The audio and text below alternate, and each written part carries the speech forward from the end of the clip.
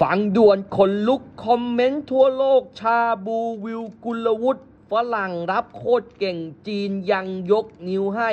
ของแท้จริง ๆ มาเลย์ยอมรับแบดไทยสะเทือนสะท้านโอลิมปิกไปถึงเหรียญทองให้ได้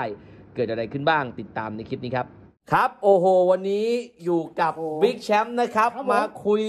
สะเทือนสะท้านแบดมินตันเฮ้ยวิวกุลวุฒิกันหน่อย เป็นยังไงพี่แชมป์วันนี้พี่เป็นแฟนแบบ ตัวยงด้วยนะขอสมัครแบบตัวยงเลยได้ได้มันเพราะ สุดมันสุดยอดมาก ต้องมันเป็นยังไงไม่เคยเป็นแบบนี้มาก่อน อืมอืม พี่เพิ่งทำคอนเทนต์ไปว่าตอนอ่า ต่อจากนี้จะไม่มีใครด่าเราได้อีกแล้ว ว่าเราใช้เล่นกีฬาเก่ง แต่ประเภทใช้กำลัง เพราะว่าวันนี้วิวกุลวุฒิพิสูจน์ให้เห็นทั้งนัดที่เจอแตงหนึ่ง อ่าฉีอิ้วฉีอ่า แล้วก็ล่าสุดเจอกับมาเลนี้ไม่ง่ายนะพี่แชมป์ไม่ได้สไตล์เดียวกันสไตล์เดียวกันเล่นเหมือนกันอืมแล้ว body เขาดีกว่า อืม แต่เราเอาชนะได้ แล้วเป็นไงฟอร์มของวิวกุลวุฒิที่พี่แชมป์ดูตอนนี้ไม่มีใครหยุดวิวได้แล้วจริงเหรอนอกจากตัวเขาเอง เพราะว่าอ่าผมพูดตามตรงว่าเขาตีได้หนักแน่น อ่าลูกตีลูกตีที่นี้คือตบแม่น ตบแล้วมันได้ผลใช่และเกมรับคือเหนียว ใช่ ตบยังไงไม่ล้ม ถูก แล้วก็ลูกหน้าเน็ตมี ใช่ จิตวิทยาได้ ใช่ และที่สำคัญสมาธิพี่แชมป์ เออ ดีมาก ดีมาก ถูกต้องอืมคือตอนเนี้ยบอกได้เลยว่าไม่มีใครสู้เขาได้ ถ้าอ่าเป็นนักกีฬาสไตล์ attack ก็เหนื่อย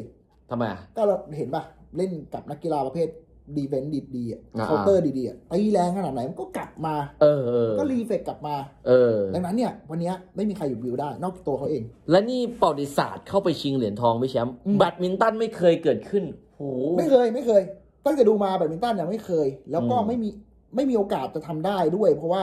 อย่างที่บอกว่าเราไม่ได้ส่งเสริมกันมาคือมันต้องสร้างเป็นรุ่นอะเป็นเกมอะถ้าสังเกตดูเราเริ่มสร้างหลังปี 2000 นะอ่าเริ่มมีนักแบดระดับโลกขึ้นไปปุ๊บอืม แต่กว่าจะมาเนี่ยกว่าจะรอ20ปีเห็นปะอ่ากว่าจะมาถึงจุดเนี้ยโอ้โหแล้วแล้วเราอะ ตอนนี้ที่จีนเขาพูดกันชัดเจนว่า เราแม่งคือแชมป์โลกอะอ่าอ่าอ่าอย่าไปมองแรงกิ้งอ่าเพราะถ้าเราเป็นแชมป์โลกมาแม่งแล้วเป็นแชมป์โลกตั้งแต่เยาวชนอ่าแล้วเป็นแชมป์โลกรุ่นใหญ่ครับเพราะฉะนั้นเนี่ยตอนเนี้ยประสบการณ์อะไรเงี้ย มันพร้อมมันะนพร้อมแล้วยิ่งเจอกับวิกเตอร์ด้วยเนี่ยอ่า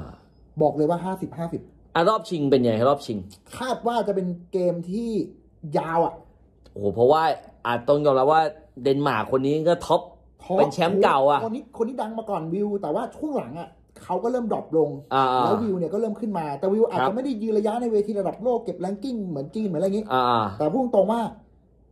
มันมันมองยากมากอืมแล้วแบดมินตันโอลิมปิกอะอย่าลืมว่า คุณเอ่อเป็นเบสแอตแทกไม่พอ มันต้องครแบบบเครื่อง ครบเครื่องต้องเล่นดูต้องทำให้เขาทำให้คู่ต่อสู้กลัวอะไรเงี้ยอืมจะเห็นบ่อยว่าโอลิมปิกอยู่ดีหลุดก็หลุดเลย อ่าใช่ เออ มันเป็นแบบนี้ถึงบอกว่าถ้าวิวถ้าวิวเถือเหมือนเจอกับลีวันเนี้ยเล่นไปอ่าเรื่อยๆเอ็กซ์เฟนก็มียวบมีโยกเหมือนกันนะ ใช่ใช่เป็นอะไรเกิดขึ้นได้ มันคือฝีมือจังหวะฝีมือจริง คอมเมนต์ทั่วโลกพูดถึงวิวหน่อย เอาทางฝั่งฝรั่งหน่อยเขามองวิวยังไงบ้างเขาบอกว่าชมยับเลยอะพี่แชมป์ คือฝรั่งอะ เอาฝรั่งเอาฝั่งมาเลก่อนมาเลเนี่ยอะฝั่งมาเลเป็นไง ประสบการณ์ตรงเพราะว่าเขาเชียร์ลีมากให้ให้ได้อ่าเหรียญอย่างเงี้ยแต่พอเขาไม่ได้เขาก็ทำใจได้ คือต้องยอมรับว่าไอ้นักแบดมาเลยคนเนี้ยมันคือที่เก่งเป็นรองอย่างลีเฉาเว่ยเลยอ่าว่าลีชองเวย ลีชองเว่ยอ่านั่นคือโคตรเทพ ใช่แต่คนเนี้ยคือเป็นแบบรุ่นใหม่ของอ่าเขาเรารุ่งรุ่นใหม่ แต่เราไม่เคยมีนักเตะไอ้ไม่ขอไปไม่เคยมีนักแบดระดับระดับลีชองเวยอ่า เอออะไรเงี้ยหลินตันเราไม่เคย อ่า แล้วเราก็ไม่คิดว่าจะมี แล้วมาเลยก็เป็นไงหลังจากที่เนี่ยโอ้ลียอเขามแพ้เขายอมว่าสู้ไม่ได้จริง คือคอมเมนต์เป็นแบบเป็นรองชมเลยอะเออจิตใจคืออย่างที่บอกว่าฝีมือเท่ากันอืมวิธีเล่นเหมือนกัน อันดับโลกติดกัน สุดท้ายมันตัดสินกันด้วยจังหวะ แล้วนี่คือโอลิมปิกอ่าคุณแค่พลาดให้คู่ต่อสู้ทิ้งไปสี่ห้าลูกนี่จบแล้ว จบเลย ใช่ มันยากมากที่จะกลับมา คือมาเลยนี่ยอมรับ ใช่ใช่ฝรั่งอะฝรั่งเนี่ยเปลี่ยนเป็นไงเปลี่ยน mindset เลยเพราะว่าปกติแล้วเขาเขาหมั่นไส้อยู่หมั่นไส้ใครหมั่นไส้แบบ จีนไงอ๋อจีนยึดแบดมินตันไม่ให้ใครเลยอ่าคือแบบอ่านานๆ อาจจะโผล่มาวิกเตอร์มาอะไรเงี้ยอ่าแต่เขาเอาหมด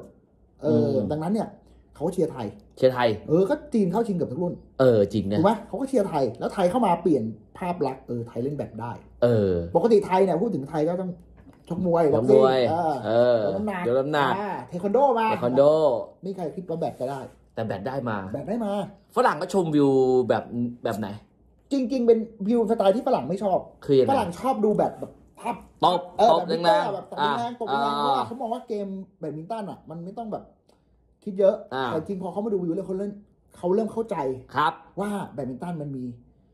นะอ่ารับรุกรับ balance อะไรแท็กติกมีเออเทคนิคเหมือนกัน กลยุทธ์มีอะไรมันมีความลุ่มลึกกว่าอืม ฝรั่งจะชอบแนว action อ่าแต่พอดูไปเยอะๆเนี่ยสนุกชอบดูนะละ แล้ววิวเป็นเป็นนักแบดที่ดีอย่างมารยาทเขาดี อ่าเอเขาอไม่เขาไม่ค่อยตีค่าใครอ่าใช่แต่ใช่เขาจะค่อยๆเล่นให้คือเขาแบบเป็นนักแบดใจเย็นอะ อ่า เป็นนักแบดที่เล่นไปเรื่อยๆ จนกว่าจังหวะตัวเองจะมาพอโมเมนตัมตัวเองมาก็ฟาดปาบหายทีจเดีบยวเลย เออเออแบบเนี้ย ฝรั่งมาเลยละพูดถึงจีนเพราะจีนนี่คือต้นตำรับโอ้เขาบอกว่าจีนนี่ข้างรักวิวมากจริงไหมจีนพี่ชแชอบมป์จีนชอบคนเก่ง อ่าย่ลืมนะครับคือด้วยด้วยไมเฟเขาก็ชอบคนเก่ง ถ้าเราดูอืมปอดิฟายเขาชอบสอบจงหวนก็เบอร์หนึ่งเลยนะอ่าอ่าเขาจะชอบคนเก่งดังนั้นเนี่ยอ่าการชนะถียู่ฉีตัวความหวังที่แบบโอ้โหเขาไม่รู้จะหวังใครละมันมือหนึ่งเขาจะเลยมีแบบนักกีฬาเก่งๆเยอะอ่าเอออะไรเงี้ย แต่ว่าพอมางวดเนี้ยเขาก็ยอมรับ แต่ว่าก็ทำใจไม่ได้อะเพราะว่าปีนี้ก็กวาดหมด คือจีนเนี่ยเป็นเจ้าพ่อแบดอยู่แล้ว ใช่เขากวาดกาการหมดแต่ว่าอ่า พอเห็นฝีมือวิวเขาก็ยอมรับว่าเก่งจริง นี่ทำให้จีนยอมรับได้นี่ไม่ธรรมดาไม่ธรรมดาต้องพูดอย่างนี้เพราะว่าคนจีนที่เขาเล่นแบดแม่งเขามี มือหนึ่งอะคือจีนอะหลายคนถามงงว่าทำไมมันเก่งจังวะอ่า ลองนึกภาพถึงกีฬาประเภทหนึ่งอย่างปิงปองเนี้ยแม่งอะแข่งกันทุกจังหวัดเออแข่งกันทุกอำเภอเออ นักกีฬามีเป็นพันเป็นล้านเล่นกันทุกวันตีกันทุกวัน อ่าแล้วมาเป็นตัวแทนประเทศคนเดียวอะครับ มันมีคัดคัดกรองได้ มันเป็นโอกาสของกีฬาประเภทเดียวที่แม่งจะแบบ มันก็เลยกลั่นกรองนักกีฬาได้เยอะอืมของเราเนี่ยมีไม่เยอะนะยิ่งกีฬาประเภทปิงปองแบดเนี่ยไม่เยอะอืมแต่เราอะออกไปแข่งขันนอกประเทศ เยอะเออก็เป็นปัจจัยที่ดี แล้วบวกบวกด้วยต้องบอกว่าซ้อมเยอะอืมพรสวรรค์อีกอืมใช่วินัยอีกใช่มันก็เลยเป็นที่มาที่ทำให้วิวกุลวุฒิโหถ้าฟังแบบนี้ถ้าเกิดว่าตอนนี้เนี่ยทั่วโลกยอมรับในฝีฝีมือวิวนะใช่กับการที่นี่คือไม่ได้อยู่ในตัวเต็งเลยนะใช่กับโอลิมปิกคนนี้ ถูก แต่ล้มมือหนึ่ง ถูก ล้มอีกคนหนึ่งที่เป็นคนที่แข็งแกร่ง ใช่ แล้วตอนนี้กำลังชิงทองใช่ กับ อันนี้คือมือสอง ใช่ผมมาได้ไกลอะไกลโคตรๆแล้วตอนนี้พี่นึกถึงเหรียญทองเดียวเลย เหรียญทองเดียวเลยพี่แชมป์เราคือมันเราจะได้ไหม คือมันไม่มีอารมณ์ไหนที่จะไม่นึกแล้วว่าต้องเพราะว่าสุดท้ายอะอืมแม่งเรามาถึงจุดนี้เราแม่งน่ะเคยชนะเอ็กเซลเซนมาแล้วแบบ อ่า มันเกิดได้หมดไม่ใช่แบบอ่าโหมันเป็นนักกีฬาที่แม่งเราเจอแล้วแพ้อ่ามันมันเป็นแบบ มันคล้ายๆกับลีอะอ่าเออดังนั้นเนี่ยแม่งอะไรเกิดขึ้นได้ แต่มา มาถึงจุดนี้พี่พอใจแล้วนะ พอใจนะ เออ แต่ถ้าได้เหรียญทองคิดดูว่ามันจะเปลี่ยนอีก โอ้จริงก็เป็นบริษัทแล้วต้องยอมรับพี่แชมป์แบตเรามันไม่เคยเข้าใกล้เหรียญทองได้ถึงขนาดนี้นะ ไม่เคย ไม่มี ไม่มี ไม่มีนักกีฬาแบบคนไหนที่คนไทยนะที่เดินอ่า ทางมาไกลถึงรอบนี้ได้ ไม่เคย นี่คือระดับโลกของจริง โลกมาก แล้วนี่วิวพูดล่าสุดก็บอกว่าลิเวอร์พูลช่วย พูดเองเลย ข้ามไปได้ไหม ข้ามไปหยังจากยิงแมนยูแล้วลิเวอร์พูลช่วยรอส่งกำลังใจให้เขามีพลังข้ามบอมล้มมาเลเออเออสุดยอดก็ฝากเชียร์พี่แชมป์เดี๋ยว ครับ นัดชิงนี่จะตบวันพรุ่งนี้วันพรุ่งนี้อ่าประมาณสองทุ่ม อ่าเราจะไปถึงนะ ถ้าเราได้เหรียญทองนี่มันจะโคตรสุดยอดเลย สุดยอดอืมสี่ปีแข่งครั้ง มันมันคือยาก บอลโลก โอลิมปิกเนี่ยมันยากมากโอ้ๆโหทุกกีฬาไม่มีอะไรง่าย คื ออ่าจริงแชมป์โลกมันก็อาจจะมีแบบสองปีครั้งหนึ่งปีครั้งนะอ่าแต่ละกีฬานะอ่า แต่โอลิมปิกมันสี่ปีไงใช่ป่ะแล้วแข่งกันคือแม่งคุณอย่าลืมว่าคัพสี่ปีแม่งคือความเปลี่ยนแปลงของนักกีฬาแต่ละ gen อืม แบบมันมีน้อยเออมากจริงนะ ที่ที่จะแบบว่ายืนระยะสามโอลิมปิกสามเหรียญไม่มีนะ อ่าอ่ามีไม่กี่คนอะ อย่างไมเคิลเฟลป์ส นักว่ายน้ำอันนั้นต้องยอมรับยูเซน Usain โบ Bolt เออโอ้ก็ระดับโลกหมด บาสเกตบอลอย่างเงี้ย อ่าโอ้โหอเมทุริกกาเอ็นบีเอทั้งทีม แล้วขนาดวิวขนาดนักกีฬายอดเหรียญทองเราอะ อ่าอ่าเกือบทำได้อย่างมานัดบุญจำนงได้เหรียญเงินกับเหรียญทองอ่าในในช่วงเวลาแปดเออปียากนะยากสองสมัย อย่างวิว เอ้ยอย่างน้องเทนนิสลุ้นอีกก็ก็ลิ้นลุ้นเป็นนักกีฬาไทยคนแรกที่จะมีสามเหรียญโอลิมปิกอ่าเพราะว่าครั้งแรกที่เธอไปแข่งที่บราซิล ได้เหรียญทองแดงอ่าแล้วมาแข่งที่ญี่ปุ่นได้เหรียญทอง แล้วอ่าอีกครั้งหนึ่งจะลุ้นเหรียญอ่าใช่ปะมันใช่ยาปะกแล้ววิวเพิ่งอายุใช่23 แสดงว่านี่คือคนที่จะมาเปลี่ยนแบดมินตันไทยตลอดกาลได้ไหมเปลี่ยน เปลี่ยนจริงเปลี่ยตอนนี้บริษัทต้องจารึกเขาแล้ว โอ้โห จะกลายเป็นเขาเรียกว่าอะไรอะ